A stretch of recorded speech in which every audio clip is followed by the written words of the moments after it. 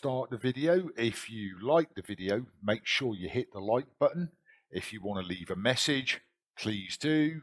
If you want to share this video to friends, family, work colleagues, or anyone else, then please feel free to do so. And please subscribe to the channel. That way, as per with all the videos, you can keep up to date with any new tutorials, all the latest videos, and all the latest information that are coming onto this channel. Now, with that being said, let's get on with the presentation for Juniper Aggregated Ethernet and how to configure it. Welcome to this presentation on aggregated Ethernet interfaces in a Juniper Junos environment and CLI interface. So the first thing we have to look at and we have to view is uh, what is aggregated Ethernet?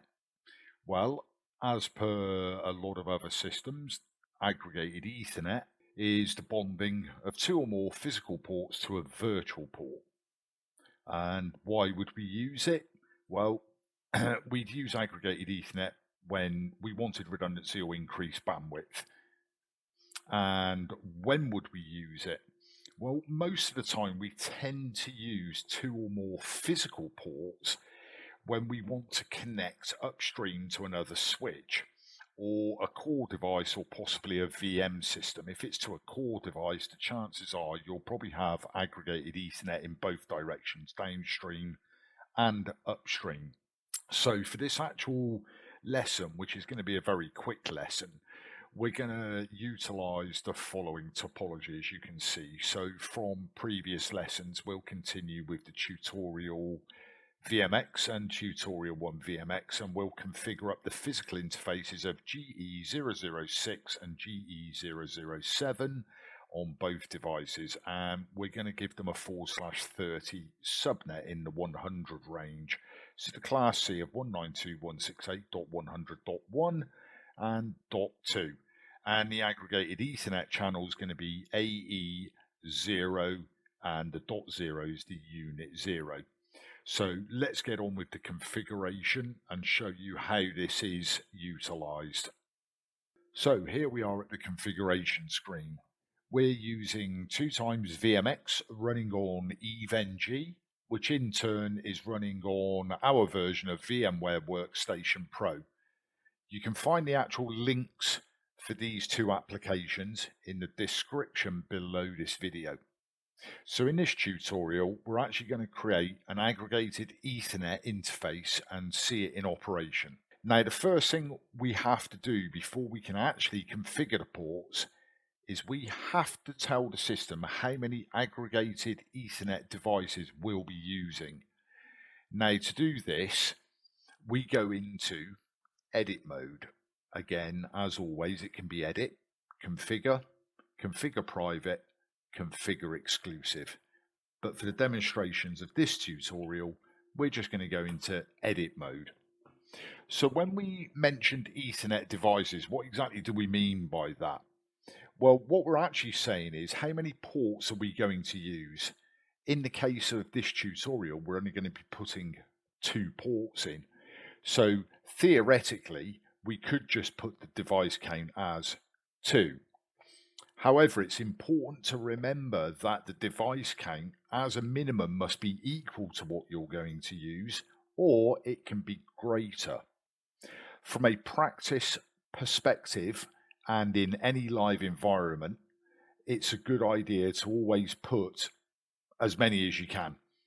The reason for this is you do not have to go back and change this configuration setting at a later date. You've already taken into consideration that you may want to add more aggregated Ethernet ports or interfaces to this actual system. But for the purposes of this actual tutorial, we'll just set it as two. From edit mode, we simply type set chassis aggregated devices, Ethernet, and a device count. And if we put a question mark, how many do we want to actually add? As we've stated, for this tutorial, we're just going to put in here 2, but you may want to put in 30, 40, just depends on the number of um, aggregated ports that you want to set up or configure at a later date. So we're just going to put in here, actually I'll put in 4. I'm going to put in a device count of 4. So what we'll do is we'll go to tutorial 1 and we'll do exactly the same again. So we're going to edit mode because we need to do it on all the devices.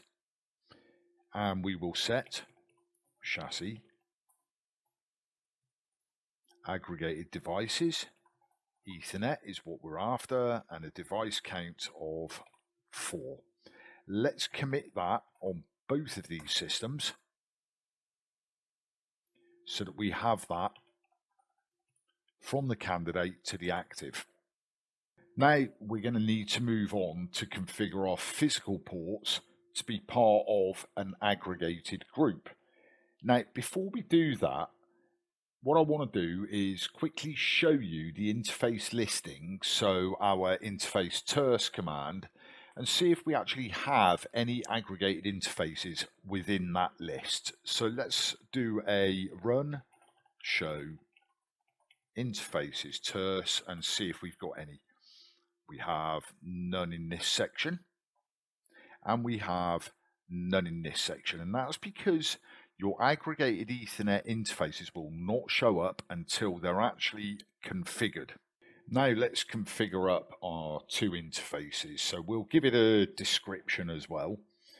So we do set interfaces G-006 and we'll put a description as, let's put it as group AE0 so that we know that it belongs to the AE0 virtual interface or aggregated Ethernet interface.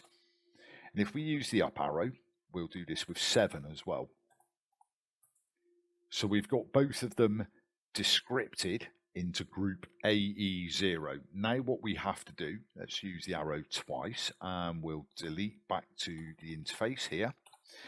And we need to put in there our gig ether options. So if we put in our gig ether options and we're going to do an 802.3 AD and then the actual aggregated group. So we're going to do AE0. It's as simple as that. And we'll do this with 7 as well. So let's put this in for 7. Now, it's what we're going to do is we're going to commit it at this point.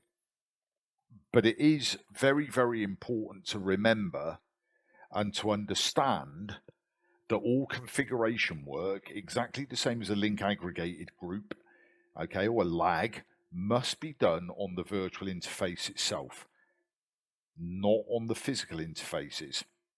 Because what will happen is if you do it on a physical interface, one end it'll drop the link completely. Okay, so with that being said, We've now configured this, so let's configure the AE. Well, in fact, actually, let's have a look again and just confirm that we have. We may not have it yet until we've put an actual IP address in, but we'll have a look and see if we have AE0 on there yet.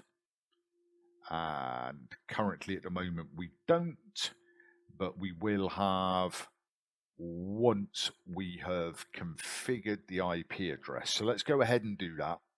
So we'll do set interfaces.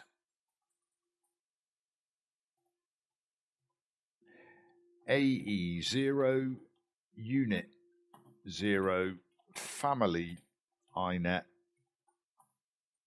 address 192.168.100.1 forward slash 30. And we'll do a commit check. And we'll commit this. And we will again use the up arrow and we'll have a look at the show interfaces terse. And you'll notice that we now have AE0.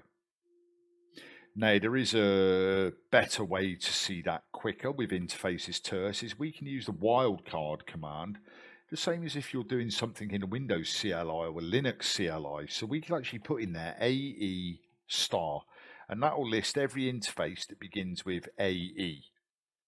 Okay, it doesn't list all the interfaces, only those. So, for example, we could do GE, and it'd list all the GE ones, but the one we're interested in here is AE0. So let's go to our secondary VMX, which is tutorial one, and we'll do a set interfaces G-006, and we'll give it a description as we did before, group AE0. And we'll do that with 7 as well. And using the up arrow again, we'll delete back to the 6 and we want the gig ether options which is 802.3AD AE0 and we're going to do that with 7 as well. Up arrow go back to the 6 replace it with the 7 and that's the two ports set up. We're going to commit this.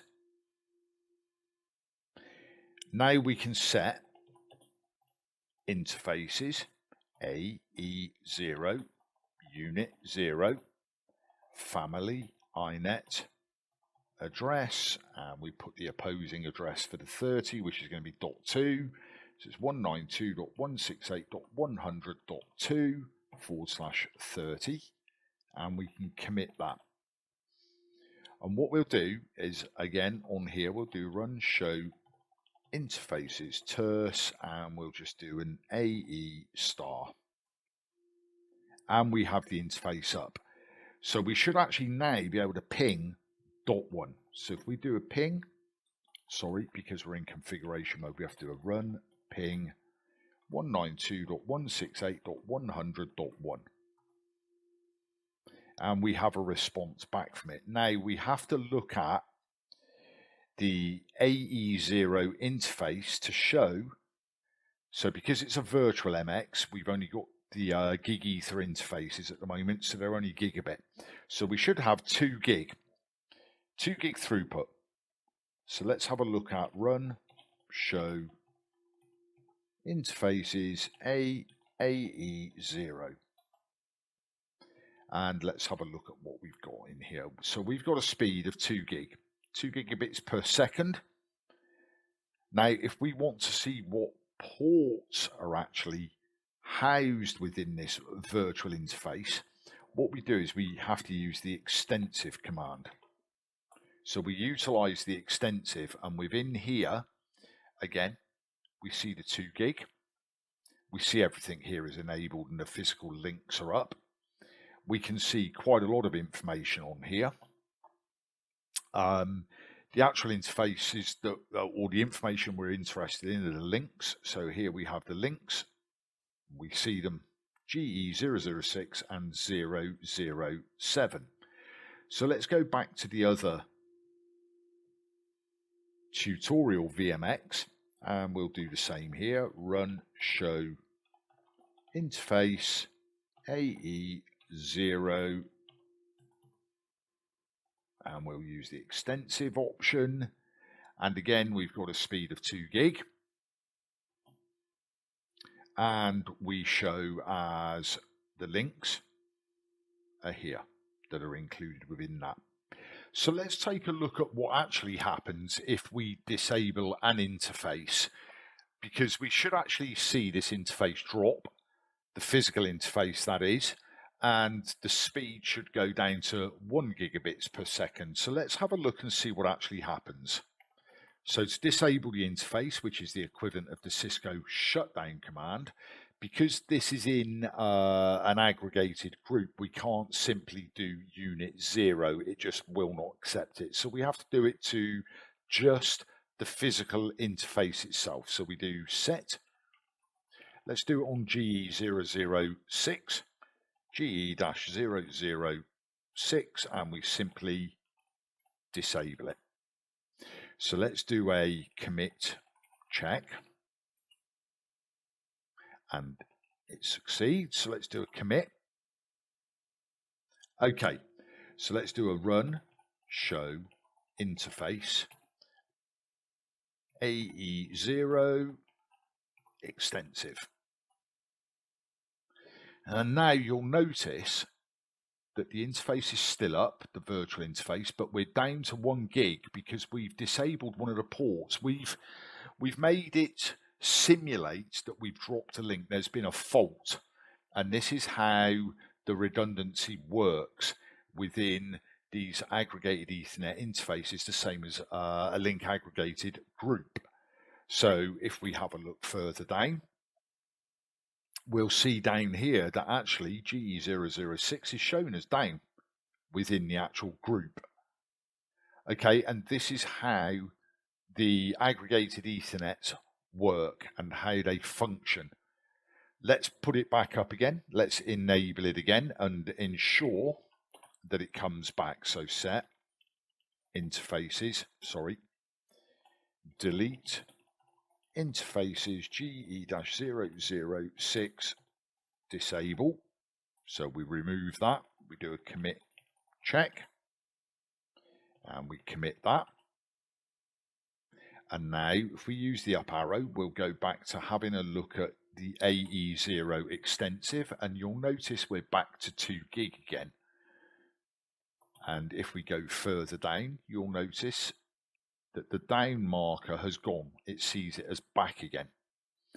Okay, so if there's any questions with regards to this tutorial, then please let me know. Otherwise, please go ahead and hit the subscribe button and hope to see you with more lessons or tutorials in the future. Thanks. Bye.